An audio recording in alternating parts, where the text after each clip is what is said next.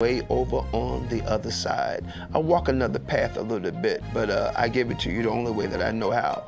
Get ready for a show that I have for you coming out of Atlanta, Georgia. We will be taping in the month of June, and it's called the Rexx Lounge Theater. It's going to be like a talk show jam session. We're going to talk, then we're going to get into a jam session.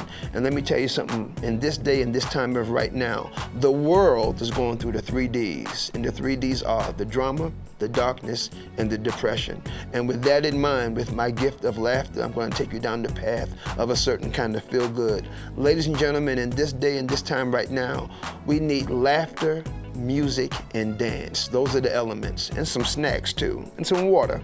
We need those elements to survive. So with my talk show, it's going to be laughter, music, dance, feel good. Uh, you're gonna have your own food, you know what I'm saying? But we're gonna make you feel good, man. It's gonna be like no other show. I know there's a lot of shows out there, but not like this one. I'm not saying I'm better, but baby, I am the Bible.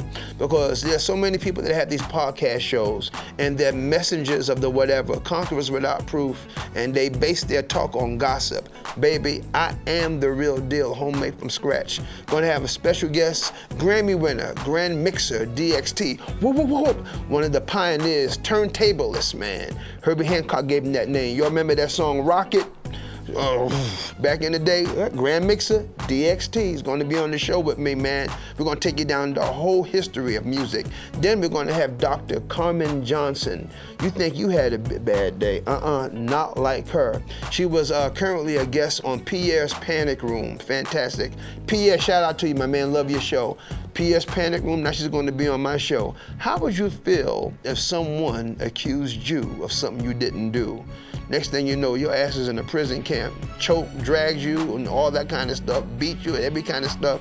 And she still came out smelling like a rose.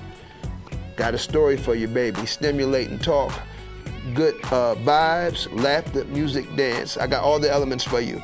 There's nothing like good conversation. Good conversation is very healing. It's like food. So tune in to the Rexx Lounge Theater, coming at you full power and exact with the James Brown payback, the cold funk, the Rex. Catch you shortly.